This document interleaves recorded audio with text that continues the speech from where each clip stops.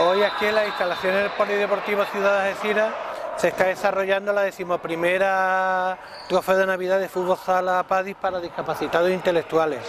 Participan un total de 45 deportistas pertenecientes a cuatro equipos de la provincia, dos de Apadis, eh, uno del puerto de Santa María y el otro de Barbate. Salva, salva, salva. Venga, rápido. Edu.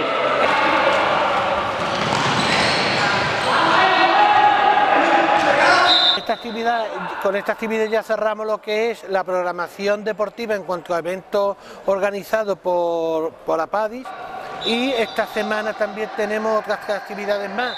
Por ejemplo, el mañana miércoles eh, estamos par- participando en el torneo de gol que hay en la cañada y el jueves vamos a ir a participar a la línea a, un- a una jornada de actividades motrices.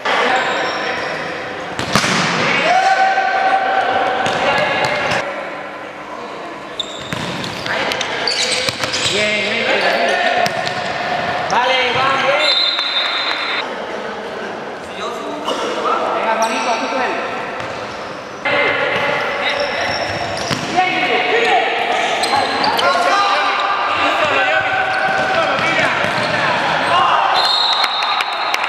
a tu duelo. que APADI sigue con la misma política de que mediante el deporte, eh, mediante el deporte estamos, el primer objetivo fundamental que tenemos es eh, la mejora de la calidad de vida de nuestros usuarios y después hay otra serie de objetivos indirectos como es la autoestima, las relaciones interpersonales, el desarrollo de autonomía personal, que también lo trabajamos mediante la práctica deportiva.